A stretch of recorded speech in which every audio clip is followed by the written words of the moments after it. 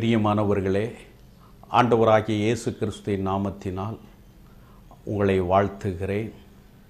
இந்த டிவி நிகழ்ச்சியை பார்த்து கொண்டு இருக்கிற உங்களுக்கும் ஆண்டவராகிய இயேசு கிறிஸ்துவின் நாமத்தினால் வாழ்த்துக்களை தெரிவித்துக் கொள்கிறேன்.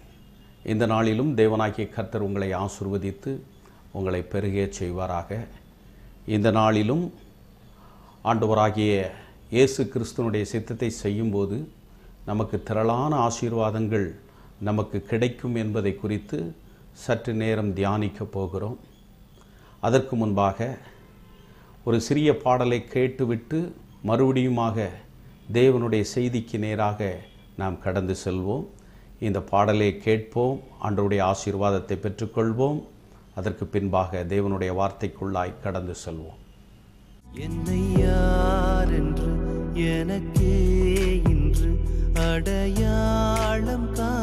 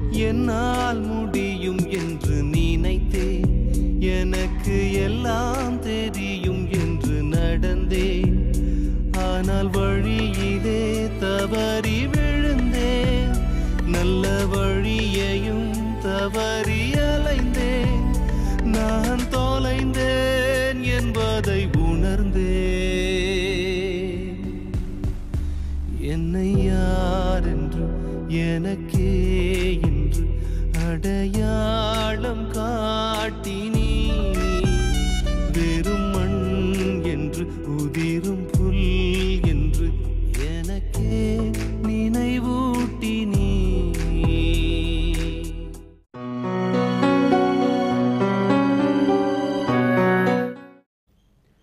இந்த நாளிலும் தியானிக்கும்படியாக எடுத்துக்கொண்ட வேத பகுதி லூக்கா எழுதின சுவிசேஷம் ஐந்தாம் அதிகாரம் ஒன்றிலிருந்து பனிரெண்டாவது வசனம் வரையும் சற்று நேரம் நாம் தியானிக்க போகிறோம். இதே காரியங்களை குறித்து மத்தேயு எழுதின சுவிசேஷத்தில் நாலாம் அதிகாரம் பதினெட்டாவது வசனத்திலிருந்து இருபத்தி ரெண்டாவது வசனம் வரையிலும் அழகாக சொல்லப்பட்டிருக்கிறது. ஒருவேளை சுவிசேஷத்தில் இரண்டு இடத்தில் இவைகள் சொல்லப்பட்டு இருக்கிறது ஒருவேளை இது கலிலேயா கடலில் நடந்த ஒரு காரியத்தை குறித்து சொல்லப்பட்டு இருக்கிறது கலிலேயா கடல் என்றாலும் ஒன்றுதான். கெனசரேத் கடல் என்றாலும் ஒன்றுதான். திபெரேயா கடல் என்றாலும் ஒன்றுதான். கினரேத் கடல் என்றாலும் ஒன்றுதான். ஒவ்வொருவரும் ஒவ்வொரு விதமாக எழுதியிருப்பார்கள். ஆனால் சுருக்கமாக சொல்லப்போனால் இது கலிலேயா கடலை குறித்து தான் எழுதப்பட்டு இருக்கிறது கலிலேயா கடலில் என் ஆண்டவராகிய இயேசு கிறிஸ்து ஒரு நாள் அங்கு வந்திருந்தார். அந்த கலிலேயா கடலில் நின்று கொண்டு இருக்கும்போது திரளான ஜனங்கள் அவரை நோக்கி வந்தார்கள். திரளான ஜனங்கள் அவர்களை நோக்கி வந்ததனுடைய காரணம் என்னவென்றால் என் ஆண்டவராகிய இயேசு கிறிஸ்துவனிடத்தில் வந்தால் அநேக வேத வசனங்களை நாம் கேட்டுக்கொள்ளலாம். அநேக வியாதிகளை நம்மிடத்திலிருந்து எடுத்து போடுவார். நம்மிடத்தில் இருக்கிற எல்லா காரியத்திலிருந்தும் ஆண்டவர் விடுதலை தருவார் என்று சொல்லி எப்பொழுதும் ஒரு கூட்ட ஜனங்கள் இயேசுவை நோக்கி ஓடி வருவார்கள். அப்படி இயேசுவை நோக்கி ஓடி வந்த ஜனங்கள் திரள் கூட்ட ஜனங்கள் இயேசுவை நெருக்கிக் கொண்டிருக்கிறார்கள். அப்பொழுதுதான் என் ஆண்டவராகிய இயேசு கிறிஸ்து தேவனுடைய வார்த்தைகளை பிரசங்கிக்கும்படியாக பேதருடைய படகை பயன்படுத்துகிறதை பார்க்க முடிகிறது. இரவு முழுவதும் பிரயாசப்பட்டு மீனவர்கள் மீன்பிடித்து கடலின் ஓரத்தில் தன்னுடைய படகை நிறுத்தி கொள்வார்கள். அதற்கு பிறகு அந்த வலைகளை அலசி அதற்கு பிறகு அதை சுத்தப்படுத்தி அடுத்த நாள் தன்னுடைய வாழ்க்கைக்கு ஆதாரமாக மீன்களை பிடிக்க வேண்டும் என்று சொல்லி எல்லாவற்றையும் ஆயத்தப்படுத்துவார்கள். அப்படித்தான் அங்கே பேதுருவும் தன்னுடைய வாழ்க்கையில் படகை கடல் ஓரமாக நிறுத்திவிட்டு தன்னுடைய வலைகளை எல்லாவற்றையும் அலசி கொண்டிருந்தான். அப்பொழுதுதான் என் ஆண்டவராகிய இயேசு அந்த கடலோரமாக நடந்து வந்து அங்கே நின்று கொண்டு இருக்கிறார் அப்பொழுது நின்று கொண்டு இருக்கும்போது இரண்டு படகுகளை பார்க்குகிறார். அது ஒன்று சீமோன் பேதருடைய படகாக இருக்கிறது. என் ஆண்டவராகிய இயேசு கிறிஸ்து எப்பொழுதும் ஜனங்கள் அதிகமாய் கூடி வருகிற இடங்களில் வேறு விதமான வார்த்தைகளை ஒரு நாளும் அவர் பேசுவதில்லை. தேவனுடைய சத்தியமான வார்த்தைகளை தேவனுடைய வசனங்களை தான் பிரசங்கித்துக் கொண்டிருப்பார். ஏனென்றால் இயேசு கிறிஸ்துவுக்கு நன்றாக தெரியும். ஜனங்கள் எப்படியாவது இந்த சத்தியத்தை அறிந்து கொண்டால் இந்த சத்தியத்திலிருந்து ஜனங்கள் விடுதலை பெறுவார்கள் என்பதை குறித்து ஆண்டவருக்கு நன்றாக தெரியும். அதனால்தான் அவர் திரள் கூட்ட ஜனங்களை கண்டவுடனே வேதாகமத்தினுடைய வசனங்களை போதிக்க ஆரம்பித்து விடுவார்.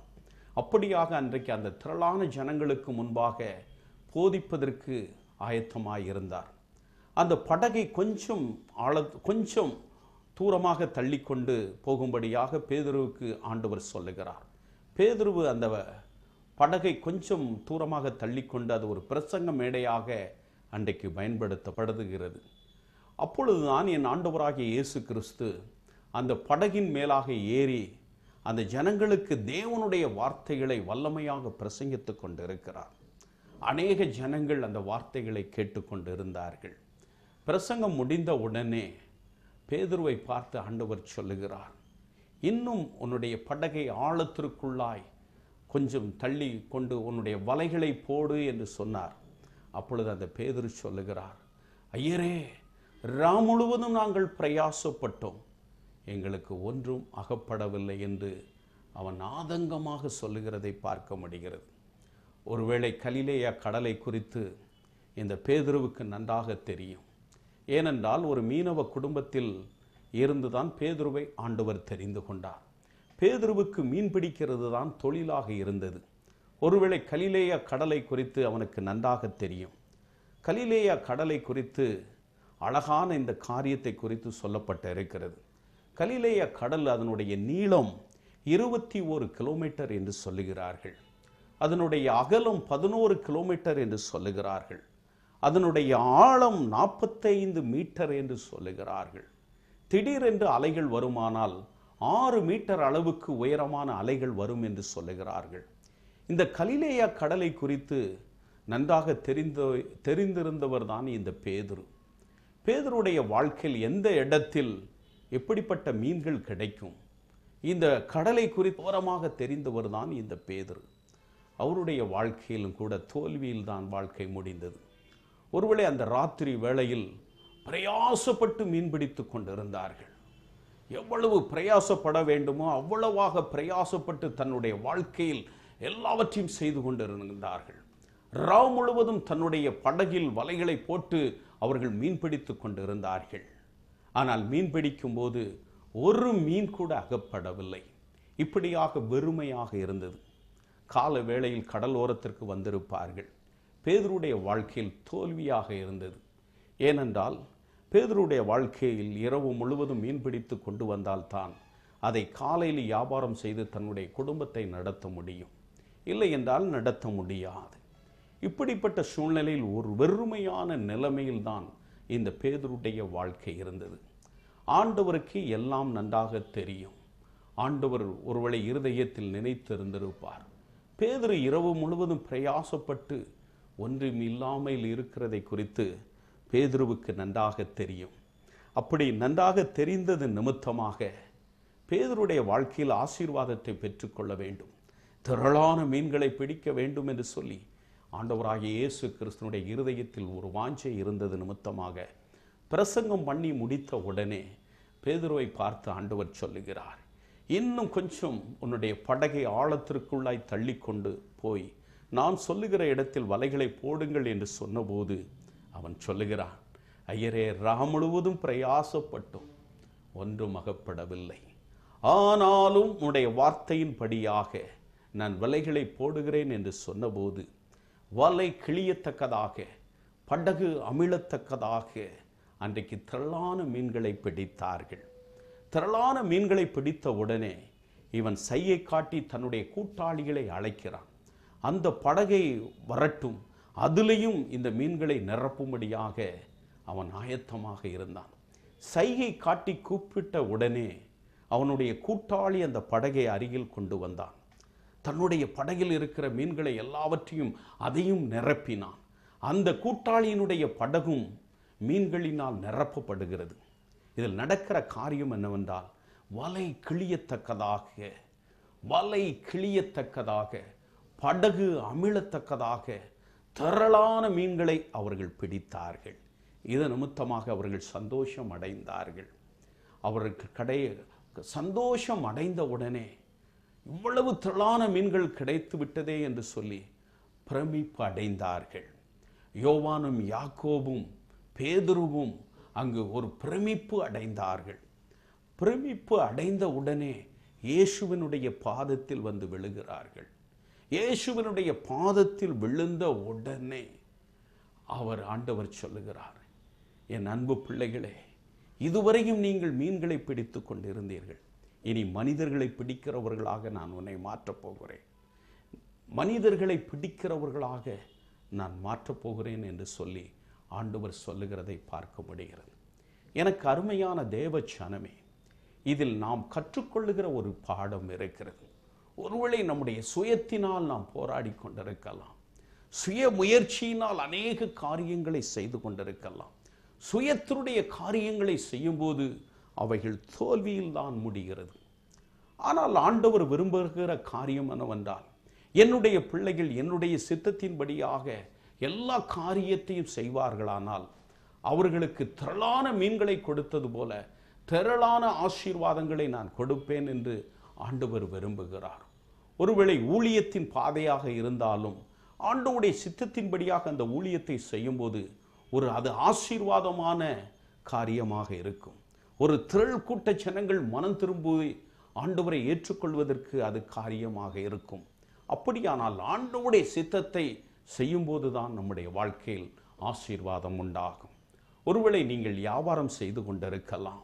நீங்கள் வியாபாரம் செய்து கொண்டிருந்தாலும் ஆண்டவர் உங்களுக்கு என்ன சொல்லுகிறாரோ அதன்படியாக உங்களுடைய தொழிலை நடத்துவீர்களானால் ஆண்டவருடைய சித்தத்திற்கு ஒப்பு கொடுத்து உங்களுடைய தொழிலை நடத்துவீர்களானால் நீங்கள் ஆசிர்வதிக்கப்பட்டவர்களாய் மாறுவீர்கள். உங்களுடைய தொழில் ஆசிர்வதிக்கப்படும். ஒருவேளை அது குடும்ப காரியமாக இருந்தாலும் பிள்ளைகளுடைய காரியமாக இருந்தாலும் ஆண்டவரே என் குடும்பத்தை ஆசிர்வதியும். ஆண்டவரே என்னுடைய பிள்ளைகளை ஆசிர்வதியும் என்று சொல்லி ஆண்டவருடைய சமூகத்தில் உங்களை ஒப்பு கொடுக்கும் போது தேவனாகிய கர்த்தர் ஆசிர்வதித்து உங்கள் பலப்படுத்த முடியும். இதில் முக்கியமான காரியம் என்னவென்றால் ஹண்ட்ரட் பர்சன்ட் தேவனுடைய சித்தத்தை நிறைவேற்றுவது தான் ஆசீர்வாதத்தை கொண்டு வர முடியும். அன்றைக்கு ஒருவேளை பேதருடைய வாழ்க்கையில் ரா முழுவதும் தன்னுடைய சுயத்தினால் போராடி கொண்டிருக்கிறான். ரா முழுவதும் தன்னுடைய சுயத்தினால் போராடி கொண்டிருக்கிறான். ஒன்றும் அகப்படவில்லை. ஆண்டவர் சொல்லுகிறார் இன்னும் கொஞ்சம் ஆழத்திற்குள்ளாய் தள்ளி உன்னுடைய வலைகளை போடு என்று சொன்னபோதுதான் அங்கு ஒரு திரளான மீன்களை பிடிக்கும்படியாக ஆண்டவர் கட்டளை கொடுத்தார். இப்படியாக ஆண்டவருடைய வார்த்தைகளுக்கு கீழ்ப்படிந்து மிகப்பெரிய காரியத்தை செய்தது நிமித்தமாக ஆண்டவருடைய சித்தத்தை அங்கு செய்தது நிமித்தமாக அங்கு திரளான மீன்களை பிடிக்க முடிந்தது. அதன் நிமித்தமாக அவனுடைய உள்ளம் மகிழ்ச்சியாக இருந்திருக்க முடியும். ஆனால் தன்னுடைய வாழ்க்கையில் ஆண்டவருக்கு தன்னுடைய வாழ்க்கையை ஒப்பு கொடுத்தான். பேதுருவும் யோவானும் யாக்கோவும் தன்னுடைய வாழ்க்கையை ஆண்டவருக்கு ஒப்பு கொடுத்தார்கள். ஒருவேளை திரளான மீன்கள் கிடைத்தவுடனே அதை சந்தோஷமாக ஏற்றுக்கொண்டு மறுபடியும் அவர்கள் அந்த மீன் பிடிக்கிற தொழிலுக்கு செல்லவில்லை. மறுபடியும் எல்லாவற்றையும் விட்டு படகையும் விட்டுவிட்டு வலைகள் எல்லாவற்றையும் விட்டுவிட்டு இயேசுவை பின்தொடர ஆரம்பித்தார்கள். இயேசுவனுடைய சீஷர்களாய் மாறினார்கள். இயேசுவுக்காக ஊழியம் செய்கிற பாக்கியத்தை தெரிந்து கொண்டார்கள். அந்த நாளிலிருந்து மிகப்பெரிய ஆசீர்வாதம் உண்டாகிற்று. எனக்கு அருமையான சகோதர சகோதரிகளே நம்முடைய வாழ்க்கையை ஒரு நிமிஷம் யோசித்து பாருங்கள். இதுவரையிலும் ஏன் தோல்வியை தழுவிக் கொண்டிருக்கிறோம்? ஏன் வியாபாரத்தில் ஆசீர்வாதம் இல்லை? ஏன் குடும்ப வாழ்க்கையில் ஆசீர்வாதம் இல்லை? ஏன் பிள்ளைகளுடைய வாழ்க்கையில் ஆசீர்வாதம் இல்லை என்று சற்று யோசித்து பார்ப்போமானால் ஆண்டவர் இருதயத்திற்கு ஏற்ற அவருடைய சித்தத்தை செய்யாதவர்களாக இருக்கிறது நிமித்தமாக இன்னும் ஆசிர்வதிக்கப்படவில்லை. ஆண்டவருடைய சமூகத்தில் ஆண்டவரே நான் இதுவரையிலும் உமக்கு பிரியமில்லாத காரியங்களை செய்துவிட்டேன். என்னை ஒரு விசை மன்னித்து விடும் ஆண்டவர் உனக்கு நன்மை செய்கிற தெய்வமாக கடந்து வருவார். ஆண்டவர் உன்னுடைய வாழ்க்கையில் ஆசீர்வாதத்தை கொடுக்கிற தெய்வமாக கடந்து வருவார். இதுவரையிலும் உங்களுடைய வாழ்க்கையில் போராட்டங்கள் இருக்கலாம். இதுவரையிலும் நீங்கள் கண்ணீர் வடித்து கொண்டிருக்கலாம். எல்லாரும் கைவிட்டு விட்டார்களே என்று சொல்லி ஒரு விரக்தியோடு இருக்கலாம்.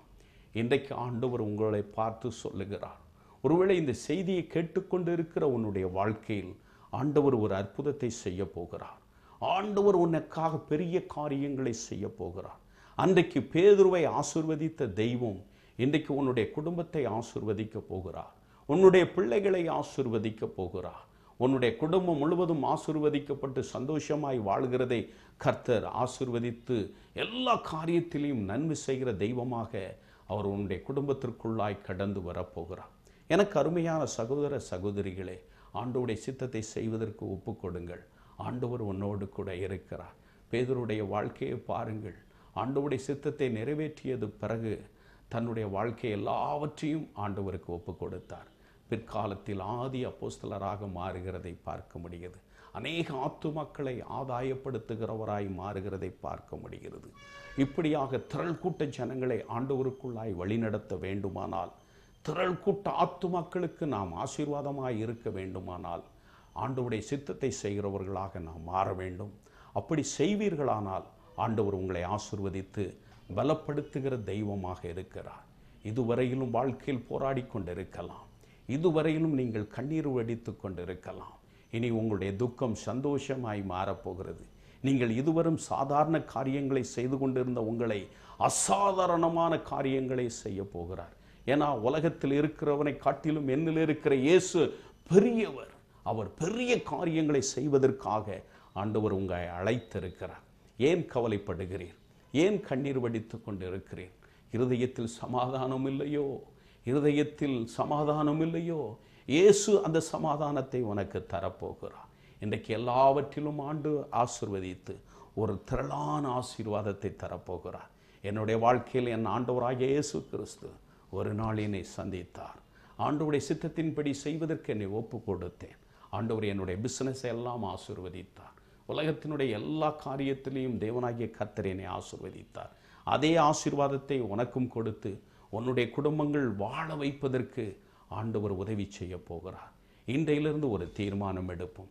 ஆண்டவரே என்னுடைய வாழ்க்கையில் உம்முடைய சித்தத்தை செய்வதற்கு எனக்கு ஒப்புக்கொடும். ஆண்டவரே நீர் எங்கே செல்ல சொல்லுகிறீரோ அங்கே செல்லுகிறேன். ஆண்டவரே நான் என்ன செய்ய சித்தமாக இருக்கிறேனோ அதை நீர் என்னோடு கூட பேசும். நான் அதன்படியாக செயல்படுவதற்கு நான் ஆயத்தமாக இருக்கிறேன். ஆண்டவரே அந்த பேதருடைய வாழ்க்கையில் ஒரு திரளான மீன்களை பிடிக்கும்படியாக கத்தர் உதவி செய்தீரே அப்படிப்பட்ட ஆசீர்வாதத்தை எனக்கு தாரும். நான் எல்லாவற்றையும் உங்களுடைய கரத்தில் ஒப்பு கொடுக்கிறேன் ஆண்டவரே. நீர் மாத்திரம் போதும் ஆண்டவரே.